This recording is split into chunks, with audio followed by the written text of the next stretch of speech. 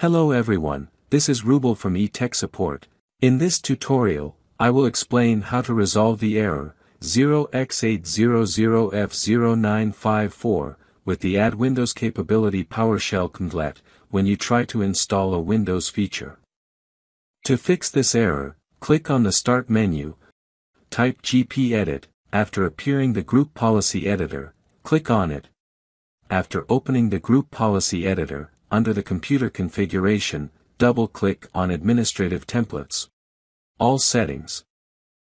On the right side, scroll down and, double-click on, Specify settings for installing optional components and component repair.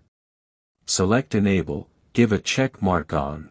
Download the repair content, and optional options, from Windows Update, instead of Windows. Server Update Services, WSUS, Click on Apply and OK. Now restart the computer. After restarting the computer, hope your problem is solved. Thanks for watching this video, hope you like it, if you found this video helpful, please give it a thumbs up and consider subscribing for more content like this. Also, leave a comment below with your thoughts, questions, or suggestions for future videos. Take care.